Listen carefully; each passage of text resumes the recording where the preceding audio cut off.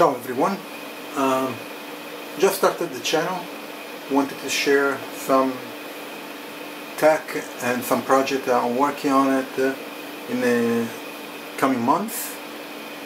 But today I wanted to share my unboxing of the new MacBook uh, uh, Pro Max 16 inches. This is the 1 terabyte hard drive, 64 gigabyte RAM. Uh, so for most people, uh, 64 gigabyte RAM is an overkill. Uh, but um, I'm an engineer, so I do a lot of uh, development and coding. Um, I deal with multiple operating system. Um, at the same time, I do C++ development, Python, um, dealing with uh, Linux kernel, uh, development of Raspberry Pi, uh, and a bunch of other things. 3D modeling too, for 3D printing.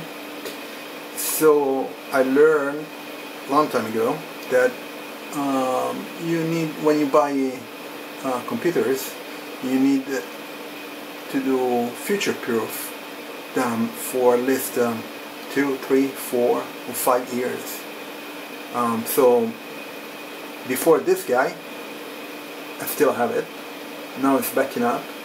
Uh, the I had a MacBook Pro uh, 15 inches uh, and I bought it that in 2012 late 2012 so it's a mid 2012 uh, retina display uh, that one has a 16 gigabyte RAM and uh, 500 gig of hard drive and the uh, graphic card I think is 1.5 gigabyte something like that. So it's i7 I think. Um, so I bought that one long time ago almost 10 years ago. And then I wanted to upgrade several years later three or four years later uh, because it was starting to be not enough for what I do and the whole issue with keyboards and screen and then the touch bar and then the lack of uh, um, uh, ports uh, with Macs um, I delayed uh, my purchase. And in the meantime I got a workstation server which is beside me. And that guy this guy is running an Hackintosh and it's a dual Xeon 20 cores 128 gigabyte of RAM and a bunch of uh, hard drives for backing up and so this will become a server with uh, for backing up all the data with a ZFS uh, uh, file system and will run virtualization with different operating system and a bunch of other stuff. So I'm a special case I guess compared to most of the people online that I see online with videos that are most of them are videographer, photographer, some developers of course uh, but I guess I'm I'm an um, let's say uh, most of the unique cases where I really need the computer to do a lot of stuff at the same time. So this is my unboxing. I got this MacBook uh, at the end of November. Now it's the end of January, so it took two months to get it. Quite a long time. I guess Christmas was in between, so and maybe the 64 gigabyte is not that common to order. So let me unboxing. This is like long time I had unbox a MacBook. So the let's see.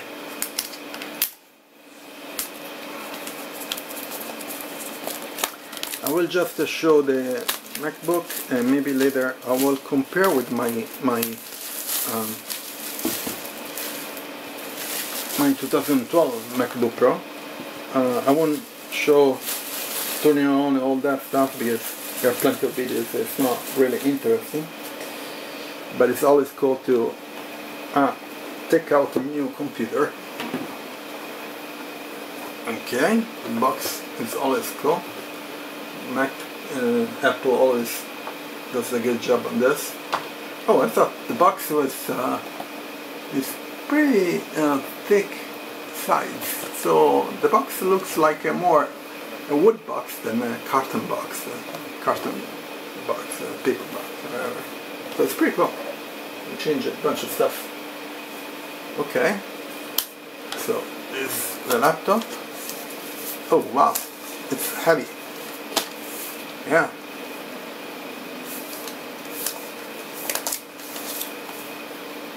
Yeah, everybody says it's pretty heavy. It is pretty heavy. So let me put it down this guy. Uh, of course, the MagSafe is back. Wow, incredible. They, it took so long to do this. You know, the, then I'll, I'll show you later on. On the other Mac, MagSafe is there, so there was no problem with that.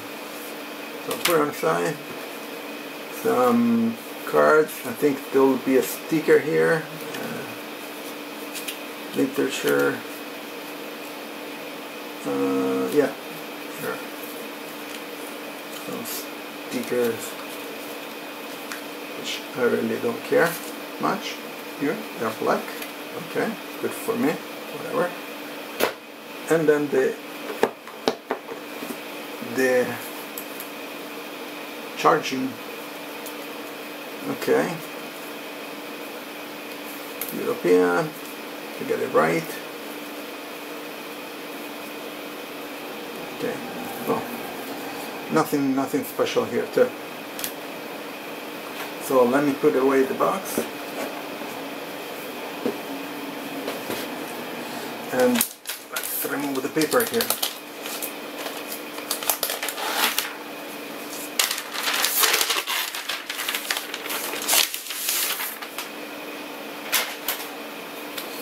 So I got the dark space gray. Okay. So the ports are there. MagSafe, two USB-C, oh Thunderbolt I think, three 3.5 here. Uh, memory card reader, HDMI, and another uh, USB-C, I think a Thunderbolt. Uh, I, I, have to figure out which one is uh, Thunderbolt 4 and stuff. Um, what else? I really bought. Everybody say, "Oh no, you don't need dongles." Well, actually you do, because if you want to connect to Ethernet instead of Wi-Fi, you need a dongle. And this one, uh, or at least I'm waiting for a a Thunderbolt 4 uh, hub. Will get here in a week and I'll do a video on that because that one is going to be interesting. It's Thunderbolt 4 hub with the NVMe uh, PCIe 4 so I'll do some testing with that. Um, and um, that's it for now. I'm going to uh, just showcase uh, uh, with the, dif the difference between this guy and the MacBook uh, from 2012 it's going to be uh, interesting to see the differences. Uh, okay. Just a second I'll be back. Okay. So put the two Mac side by side this is 2012 MacBook Pro. And this is the uh, MacBook uh, Pro Max. So um, basically are the same size. Uh, if I put it on the same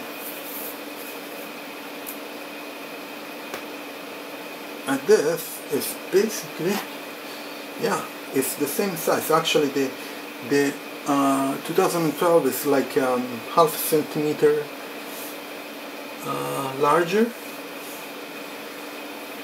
You can see here right here.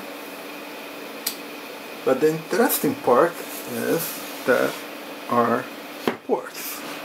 So if you can see here um, so SD cards here we have the HDMI on the 2012 Max is right here. And then here there is a USB and this uh, Thunderbolt right? And from the back nothing much to see in the back. And then on the other side right here MagSafe on 2012 right here on the Max. And then here there are two Thunderbolt I think uh, one then a USB and then the phone jack. Here instead there are two Thunderbolt and the phone jack. So uh, seems like they, they took the older older uh, MacBook uh, version you know and just upgraded the the ports right? MagSafe is right there. So between 2012 and 2022 or 21 actually um, for me since I didn't buy a MacBook in between didn't change much.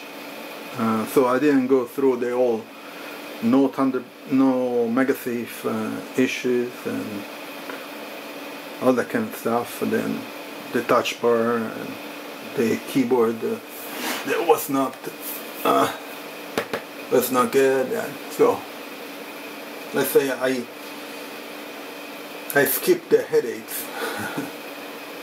So I already um, installed all the software that I have on my workstation on the MacBook Max um, I have to just update some software like uh, Resolve da, Vinci Resolve and uh, a few other things that are uh, dedicated to the M1 uh, chip. Uh, the migration was a kind of a pain because um, my workstation is connected via Ethernet.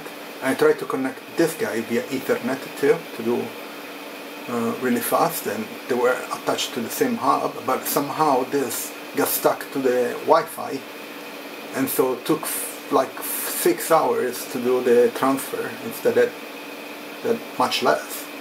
I don't know why it didn't pick up the Ethernet. I had the dongle. Uh, this guy, I had this guy attached. It's a 2.5 gigabit. Uh, well, the hub is one gigabit, so it doesn't matter but it didn't it didn't pick up the Ethernet, and I had to go through Wi-Fi, which was a pain. Um, so, and already did some few tests and uh, cut in half most of the compiling stuff, uh, the time. So, which is really good. And saving time is always good. so, to repeat, um, I'm. Uh, use case, uh, let's say an extreme or not unique, but uh, a much more uh, unique, let's say, user case, because uh, 64 gigabyte for the Max is for 95% of the people, 90% of the people is an overkill. I think the 32 or even the 16 is is uh, good enough for most of people. Um, and um, uh, I don't understand the, the issue that they have. People, most people have uh, 14 versus 16. I think the 16 is it's not huge. It's it's like smaller than my 2012, so it's okay. Uh, but I guess most people don't need such powerful machine, so the 14 is good enough, even for portability. Uh, this guy is, is a bit heavier than uh, than the 2012 on this game but uh, for me it's fine. Uh, so uh, it looks like more a workstation type of laptop uh, which is feels good. So for now everything alright I'm going to share some links where I where I am going to buy some uh, accessories for the Macs I'm, I'm waiting for a Thunderbolt 4 hub and a few other accessories to to improve my office space since like everybody I'm working from home. Uh, so I'll put the links in the description. And the next video I'll share uh, the Thunderbolt hub that uh, hopefully I'll receive uh, soon and uh, my experience. And probably I'll do some videos on development and these other things. Okay? Thank you very much. Subscribe to the channel if you like it. Put a like share and subscribe. And if you have any comments or suggestions or anything like that uh, for the channel for the videos that I'm making just leave a comment and uh, I'll try to get back to you as soon as I can. Thank you very much and ciao. Bye